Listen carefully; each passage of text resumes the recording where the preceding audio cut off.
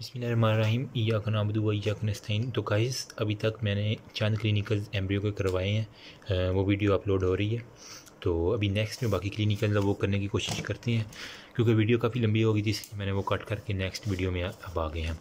अब नेक्स्ट में आ जाता है ओव्यूलेशन ड्यूरिंग ओव्यूलेशन वो कह रहा है some women feels light pain यानी उनके मेस्टर पीरियड की बात कर रहा है कि वुमेन को ना थर्टीन से फोर्टीन डे के ऊपर ना आफ्टर लास्ट मेंस्ट्रुअल डे के थर्टीन से फोर्टीन डे के ऊपर ओव्यूलेशन होती है, जिसके नतीजे में उसे स्लाइट पेन होती है। उसे हम कहते हैं mittelschmerz pain occur in middle of the menstrual cycle हो गया, वही है। और इसकी सिम्टम्स क्या क्या हमें फीमेल को कैसे पता चल सकता है? उसका एक तो है ना बेजल बॉडी टेम्परेचर वो रे राइज होगा। So help couple to become pregnant यानी जो गायनोकोलॉजिस्ट होती हैं, या अक्सर जो होते हैं ना एंडोक्राइनोलॉजिस्ट वो ये रिकमेंड करते हैं कि आपने ओव्यूलेशन वाले डे के ऊपर आपने ना जो है ना, वो मीटिंग करनी है, जिसकी वजह से बेबी उनका कंसीव होगा। उसके बाद कॉन्ट्रासेप्टिव मेथड जिससे हम प्रेगनेंसी को बचा सकते हैं। कोई भी अगर अब नॉर्मल कंडीशंस है तो हम कंट्रासेप्टिव मेथड कौन कौन से हैं? एक है बैरियर मेथड हार्मोनल मेथड और मेल पिल्स हो गया और इंट्रायूट्राइन डिवाइस हो गया। बैरियर मेथड में क्या होता है? हम मेल्स को कंडम का कहते हैं कि वो ड्यूरिंग जैसे सेक्स इंटरकोर्स कंडम का यूज़ करें और फीमेल को कहते हैं कि वो आ, ये यहाँ पे क्या था यार? पोली यूरिथ्रा यूरिथ्रा इस तरह जस्ट में। पोलीयूरेथीन, ये भी एक किस्म का कॉन्डम रहेगा ये फीमेल्स के लिए होता है, ये मैं आपको दिखा देता हूँ। इधर उन्होंने लिखा हुआ है barrier method barrier contraceptive includes male condom made up of latex and often containing chemicals spermicides होते हैं, जो स्पम को किल कर देते हैं which fit over the penis जो पीनस के ऊपर फिट किया जाता है and female condom made up of polyurethane which lines the vagina ठीक है? Barrier place in vagina include diaphragm हो गया सर्वाइकल गैप हो गया एंड कॉन्ट्रासेप्टिव स्पंज लाइक ये होती है, बस यही इसमें कहा। उसके बाद हार्मोनल मेथड में क्या होता है? हम उन्हें कोई मेडिसिन ऐसी देती हैं जिसकी वजह से उनका ना हार्मोनल लेवल ज़्यादा हो जाए। एस्ट्रोजन का लेवल एफ़ एस एच और एल एच जो है ना, वो प्रिवेंट वाइटली एस्ट्रोजन देते हैं, लेकिन एफ़ एस एच और एल एच भी देते हैं। अब एस्ट्रोजन देने का क्या फ़ायदा है? कि उसकी जो है ना मोबैलिटी जो होती है ना एग की, जो ओव्यूलेट हुआ पड़ा होता है, उसकी मोबाइलिटी इंक्रीज़ हो जाती है और फ्लोपियन ट्यूब्स की भी मोबाइलिटी नहीं, जिसकी वजह से वो इम्प्लांट नहीं हो पाता। फर्टिलाइजेशन तो हो जाती है, लेकिन इम्प्लांट नहीं हो पाता। इस वजह से हम इसे कंट्रासेप्टिव मेथड में इस्तेमाल करते हैं।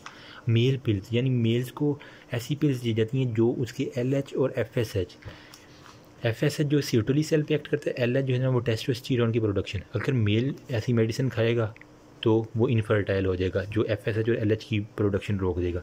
इंट्रायूट्राइन डिवाइस कुछ डिवाइस मिलती हैं जो प्रोजेस्टिन इसे हम कहते हैं लिखा हुआ जो म्यूकस को थिक कर देते हैं। अमूमी तौर पे तो म्यूकस को थीन होना चाहिए ताकि स्पर्म की फ्लो इजी हो। लेकिन ये म्यूकस थिक हो जाता है स्पर्म उसके अंदर स्टक हो जाते हैं इस वजह से। अभी एमरजेंसी कंट्रासेप्टिव पिल्स यानी अगर आ, आ, कोई भी आ, आ, इस तरह की एमरजेंसी हो गई है कि खसूस रेप केसेस में तो वो गायनाकोलॉजिस्ट उन्हें बर्थ कंट्रोल पिल्स देती हैं 120 हार्स के अंदर। यानी 120 घंटे के अंदर अंदर उसे high dose of birth control pills देती हैं। ठीक है? तो वो जो है ना, उसकी इम्प्लांटेशन नहीं हो पाती एग की। उसके बाद स्टेलाइजेशन जो है ना मेल वेजेक्टमी जो मेल का जो है ना, वो वेज डेफरेंस टेस्टिस के एपिडेडिमस और वेज डेफरेंस यहाँ से हम सर्जिकली उसे कट कर देते हैं। ठीक है? तो इसे हम कहते हैं वेल में वेजेक्टमी ना तो स्पर्म आएगा और ना ही वो फर्टिलाइजेशन होगी। ये कंट्रासेप्टिव मेथड में आता है। और इसके बाद जनाब है इनफर्टेलिटी। अब नॉर्मल मेज़ में क्यों इनफर्टेलिटीज़ होती है? नॉर्मल वो कह रहा है कि स्पर्म जो है ना वो एक इजैकुलेशन में जो है ना, वो टू टू सिक्स एम होते हैं। Two to six M L sperm ejaculate होते हैं। एम एल हंड्रेड मिलियन पर M L, two to six M L sperm जो है ना मिली लीटर वो इजैकुलेट होते हैं। और हर एम एल में कितने स्पर्म होते हैं? हंड्रेड मिलियंस जस्ट सपोज़ इधर इसका मतलब है छः मिलियन होंगे, दो से छः मिलियन तक स्पर्म होंगे। ठीक है? Two hundred to six hundred million sperm यानी एक इजैकुलेशन में एक किस्म के मैन विद ट्वेंटी मिलियन और फिफ्टी मिलियन पर एम एल। अगर हम एनालिसिस करें, एक एमएल में अगर हमें हंड्रेड एम मिलियन की बजाय हमें फिफ्टी मिलियन भी मिल जाए ना, या फिर ट्वेंटी मिलियन भी मिल जाए तो वो फर्टिलाइजेशन के लिए इस्तेमाल हो सकती हैं। लेकिन अगर एक एमएल में ट्वेंटी मिलियन स्पर्म से भी कम तादाद हो तो वो हम स्टीराइल हमेल हम उसे कहते हैं। ये लेबार्ट्री टेस्ट होता है, इसमें हम करते हैं, ठीक है? फीमेल में क्या होता है? फीमेल की कौन कौन सी? मेल में तो स्पर्म की क्वालिटी और क्वांटिटी का हो गया। फीमेल में क्या होगा? या तो ये है ना, सारे के सारे यूट्रस, ये फ्लोपियन ट्यूब है। ठीक है? ये यूट्राइन ट्यूब ऑब्स्ट्रक्शन यहाँ से ऑब्स्ट्रक्शन है। एग इधर से आ ही नहीं पा रहा। रुकावट बनी हुई है। इन्फ्लामेशन इन्फ्लामेशन हुई है, उसी वजह से ब्लॉकेज हो गई है। थिक सर्वाइकल म्यूकस यानी यहाँ पे जो वेजाइना के करीब जो सर्वेक्स होता है थिक ओमनी यहाँ पे म्यूकस बहुत ज़्यादा थिक हो जाता है। स्पर्म यहीं पे स्ट्रक हो जाते हैं, आगे जा ही नहीं पाते। ठीक है? एसेंस ऑफ़ ओव्यूलेशन या फिर वो एग की ओव्यूलेशन ही नहीं होती। समझ आ गई? उसके बाद जनाब होप सो आपको समझ आ रही होगी। अपनी तरफ़ से मैं कोशिश कर रहा हूँ समझाने की। और अगर कोई क्वेश्चन हो तो मुझे कमेंट सेक्शन में बता दें या फिर किसी भी सोर्स के ज़रिए मैं आपको इंशाल्लाह जवाब ज़रूर दूँगा। Assisted A R T assisted reproductive technique अगर मेल में प्रॉब्लम है या फीमेल में प्रॉब्लम है तो हम असिस्टेड रिप्रोडक्टिव टेक्निक्स यूज़ करते हैं। इसके अंदर क्या होता है? इन विट्रो फर्टिलाइजेशन यानी I V F human ova and embryo laboratory हो गया। ओवर साइड जो है ना रिकवर्ड बाय लेप्रोस्कोपी हो गया। फीमेल आती है, ठीक है? उसके हम जो है ना ओ साइड वो हम रिमूव करते हैं लेप्रोस्कोपिक मेथड के ज़रिए। बाहर निकाल लेते हैं एक्सटर्नल इन्वायरमेंट में। स्टिमुलेटेड बाय गुनेडोट्रॉपिन और ये ओ साइड कैसे निकलेगा? उसे हम ओ साइड को स्टिमुलेट करते हैं गोनेडोट्रॉपिक हार्मोन की एक्सेस दे के तो इसी वजह से लेप्रोस्कोपी करते हैं और गोनेडो ये ओ साइड बाहर रिमूव हो गया। Egg is place in culture medium कोई भी मीडियम जिसके अंदर हर न्यूट्रिएंट्स मौजूद होना उसके अंदर रखा जाता है विद कंडीशनाइज स्पर्म यानी फ्रेश स्पर्म नहीं लेते, उन स्पर्म की कंडीशनिंग करते हैं और फिर वो स्पर्म यहाँ पे डालते हैं। फ्रेश स्पर्म इसको ओव्यूलेट नहीं करें, क्योंकि उनके ऊपर वो एक्रोसोमल कैप होती है। समझ आई बात की? वो एक्रोसोमल कैप को हटा के हम उसकी कंडीशनिंग करते हैं, फिर कंडीशनाइज स्पर्म हम डालते हैं। फर्टिलाइजेशन होती है। एग की एट सेल स्टेज जब होती है ना मरूला स्टेज यानी एक किस्म की सिक्सटीन एट से सिक्सटीन सेल स्टेज को मरूला स्टेज कहते हैं। फिर हम दोबारा उस वूमेन को बुला के उसके यूट्रस के अंदर हम इम्प्लांट कर देते हैं, वो एग सो सिंपल मेथड है, इतना कोई रॉकेट साइंस नहीं है इसके अंदर। उसके बाद है जनाब oligospermia men infertile ejaculate contain few life sperm oligo का जहाँ भी लफज आ जाए, इसका मतलब है डेफिशिएंसी है, ठीक है? तो इसके अंदर जो है ना लाइफ स्पर्म बहुत कम है। यानी अगर two to six M L ejaculation हो रही है स्पर्म की, और उसके अंदर जनाब लाइव स्पर्म जो है ना, वो मोस्टली डेड होते हैं।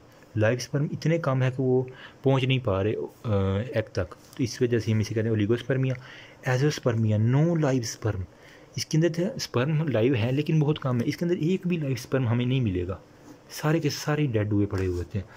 तो can be overcome using cytoplasmic sperm injection हम इसे साइटोप्लाज्मिक स्पर्म इंजेक्शन देते हैं, जिसकी वजह से एजोस्पर्मिया की डेफिशिएंसी दूर की जा सकती है। उसके बाद एबनॉर्मल जाइगोड जो होता है ना, वो कैसे डिटेक्ट होता है? एक तो होता है पीसीआर हो गया, और एक होता है मालिकुलर डीएनए अब एग और स्पर्म के मिलने से क्या बना? जाइगोट ठीक है, हमने वो स्पर्म और एग से। अब हमें लग रहा है कि इसके अंदर ना कोई डिफेक्ट ना हो, कोई डाउन सिंड्रोम ना हो जाए, कोई प्रेडर सिंड्रोम ना हो जाए, कोई एंजलमैन सिंड्रोम ना हो जाए क्यूडिकेट सिंड्रोम ना हो जाए। तो हम उसके लिए हम एक टेस्ट करते हैं पीसीआर और एक करते हैं मालिकुलर स्क्रीनिंग। इससे हमें पता चल जाता है कि आया कि ये नॉर्मल है, या अब नॉर्मल अगर नॉर्मल होगा तो हम इसे इम्प्लांट कर देंगे, अगर नहीं, अब अब नॉर्मल है तो इसे हम डिस्कार्ड कर देते हैं। डीएनए जो है ना, इसकी एम्पलीफिकेशन की जाती है पीसीआर में अंदर, आपको मालूम है। उसके बाद जनाब है अब नॉर्मल इम्प्लांटेशन यानी जो जाइगोट है, उसकी इम्प्लांटेशन कहाँ किस किस, अब नॉर्मल जगह पे नॉर्मली तो वो यूट्रस की वाइल्स के अंदर होती है ना। ये होगी ना, अगर ये यूट्रस मैं बना रहा हूँ, ये फ्लोपियन ट्यूब ये फ्लोपियन ट्यूब हो गया, और ये सारे के सारे, ये सारे के सारे यूट्रस नॉर्मली तो इधर होती है या इधर होगी? ठीक है यूटर्स की वाल के तरह एंडोमीट्रियम के साथ। Let me focus it okay syncytiotrophoblast जो था ना एग वो जब मोरूला स्टेज में जाता है तो एम्ब्रियो ब्लास्ट हो गया और बाहर बनता है ट्रोफोब्लास्ट अंदर वाला जो मास होता है वो एम्ब्रियो ब्लास्ट बाहर वाला ट्रोफो फिर ये हम कहते हैं साइटोट्रोफोब्लास्ट और बाहर वाला सेंसिशियो ट्रोफोब्लास्ट ट्रोफोब्लास्ट को हम दो में डिवाइड करते हैं साइटो सेंसीशियो सेंसीशियो ने जाके जो है ना यहाँ पे इंक्लूड करना है, इस वाल के अंदर जाके इम्प्लांटेशन के लिए रास्ता बनाना है होल करना है just like drill machine end of the second week ठीक है? उसके अंदर hormone is sufficient to detect pregnancy syncytiotrophoblast जो है ना, ये सेक्रेट करता है H C G human chorionic gonadotrophin और ये हम, ये फिर हार्मोन जो है ना यूरिन ब्लड में जाता है ब्लड से फिर यूरिन के अंदर आना शुरू हो जाता है। तो हम इससे प्रेगनेंसी टेस्ट टेस्ट वो है ना फीमेल खुद घर पे कर लेती हैं, वो एक स्टिक मिलती है। वो सिर्फ़ H C G H C G human chorionic gonadotrophin को डिटेक्ट करती है। तो वो फीमेल्स बगैर किसी एक्सपेंसिव मेथड के H C C H C G की डिटेक्शन कर लेती हैं, वो किट मिलती है पिन सी उसके ज़रिए, ठीक है? To prevent rejection of sperm अल्लाह पाक ने अब नेचुरल प्रोसेस रखा है, क्योंकि स्पर्म तो एक फ़ॉरन बॉडी है और हमारी जो है ना जिसम अल्लाह पाक ने ऐसे बनाया कि किसी भी फ़ॉरन बॉडी के ख़िलाफ़ फ़ौरन वाइट ब्लड सेल आ जाते हैं या फिर लिम्फोसाइट्स आ जाते हैं, ठीक है? तो अब इसकी रिजेक्शन कैसे हो? क्योंकि अब जो जाइगोड बना है वो एक किस्म की अब फ़ॉरन बॉडी है, इसके लिए यूँ घूमता फिर रहा है। इसको इम्प्लांट करना है तो ये फ़ॉरन बॉडी ना डिटेक्ट हो जाए कहीं। इसके लिए जो हमारी सेल मीडिएटेड इम्यूनिटी होती है ना फीमेल की, वो अल्लाह पाक कन्वर्ट कर देते हैं ह्यूमोरल इम्यूनिटी में। इसके अंदर यानी बी लिम्फोसाइड बनते हैं। टी लिम्फोसाइड बनने की बजाय बी लिम्फोसाइड बनना शुरू हो जाता है। ये इतना सवेयर नहीं होता, हालाँकि ये सवेयर होता है। इसीलिए कन्वर्जन हो जाती है ह्यूमोरल इम्यूनिटी में। इसका फ़ायदा क्या होता है? इम्यून सिस्टम की अल्ट्रेशन हो जाती है। ओके तो इस वजह से फिर वो इम्प्लांट आराम से हो जाता है रिजेक्शन नहीं होती। अगर ऐसा हो जाता है ना तो ह्यूमोरल इम्यूनिटी में आने का एक नुकसान भी है। क्या है इन्फेक्शन हमें जल्दी हो सकता है? फीमेल को इन्फेक्शन लाइक इन्फ्लुएंजा का इन्फेक्शन हो जाए और ये डेथ भी काज करता रहा जब तक मेडिसिन नहीं थी। इन्फ्लुएंजा डेथ काज कर देता है। उसके अलावा क्या हो सकता है? मल्टीपल स्क्लीरोसिस हो सकती हैं प्रीहोमाटाइड आर्थराइटिस यानी इन्फ्लामेशन ऑफ़ जॉइंट्स हो सकती है सेल मीडिएटेड कंडीशंस हो जाती S L E systemic lupus erythematosus इसके अंदर वो बॉडी की अपनी सेल जो है ना, वो अगेंस्ट इट्स ओन सेल वो रिजेक्शन शुरू कर देते हैं।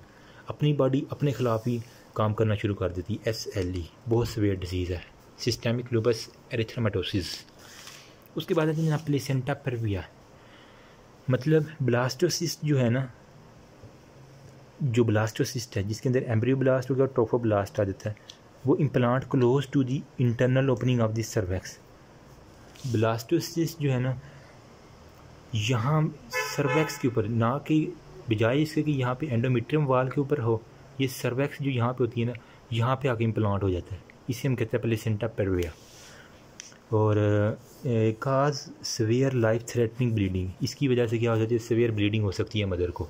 ठीक है? क्योंकि ये बिल्कुल ओपनिंग के ऊपर है, किसी भी वक्त कुछ भी ख़तरा हो सकता है।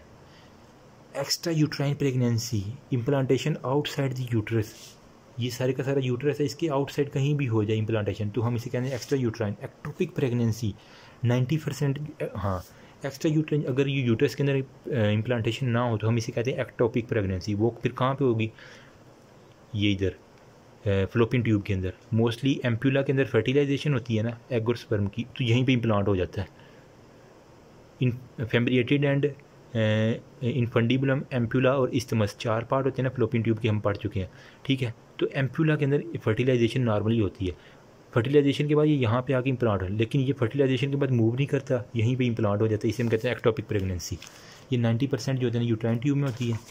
Pouch of Douglas retro uterine pouch के अंदर भी हो सकती है, यानी रेक्टम और यूट्रस के दरमियान जो है ना, एक पाउच होता है, वहाँ पर जाके ना इम्प्लांटेशन भी हो सकती है इसकी। और ये भी एक्टोपिक प्रेगनेंसी में ही आता है। Blastocyst attach itself to the peritoneal यानी पेट की जो है ना एब्डोमन की कवरिंग इंटेस्टाइनल ट्रैक इंटेस्टाइन के साथ हो सकती है या फिर ओमेंटम ग्रेटर और लेसर ओमेंटम जो होते हैं ना एब्डोमन में इस इनाटमी अगर आप पढ़ें तो उसके अंदर आता है। ग्रेटर या लेसर ओमेंटम के साथ इसकी अटैचमेंट हो जाती है। They are aborted in first trimester flow first trimester पर मोस्टली ये पाउच ऑफ़ डगलेस वाले अबार्शन हो जाता है। उसके बाद hydatidiform moles if not aborted अगर ये वाले जो है ना पाउच ऑफ़ डगरेस वाले अबार्शन ना हो, पड़े रहें पड़े रहें पड़े रहें ट्रोफोब्लास्ट डिवेल्प होगा। एम्ब्रियोब्लास्ट इसके अंदर होता नहीं है, खाली बाहर ट्रोफोब्लास्ट साइटोसन शिशो एम्ब्रियोब्लास्ट जिनने मेन बनाना था वो होता नहीं है। तो खाली ट्रोफोब्लास्ट ग्रो करता जाएगा करता जाएगा करता जाएगा करता जाएगा, बड़ा सारा हो जाएगा। Placental membrane form placental membrane इसकी प्लेसेंटा भी बन जाएगा, जिसने न्यूट्रिएंट मदर से लेके आनी है। With little or no embryonic tissue. Embryoblast है ही नहीं तो एम्ब्रियोनिक टिश्यू भी नहीं होगा। तो इस कंडीशन को हम कहते हैं हेडिटिव फॉर्म मोल इसका बेस्ट तरीका क्या डिटेक्ट करने का? H C G level human को यानी गुनेडोट्राफन बहुत ही ज़्यादा हाई लेवल हुआ होता है। Produced benign and malignant tumour एक किस्म का ये फिर ट्यूमर बनता जाता है। बड़ा सारा ट्यूमर ट्यूमर सा इतना बड़ा बन जाता है। ये इस तरह का। इन्वेसिव मोल होता है। कोरियो कार्सिनोमाज भी इसे हम कहते हैं। ठीक है? ये स्प्रेड नहीं करता इतना ज़्यादा।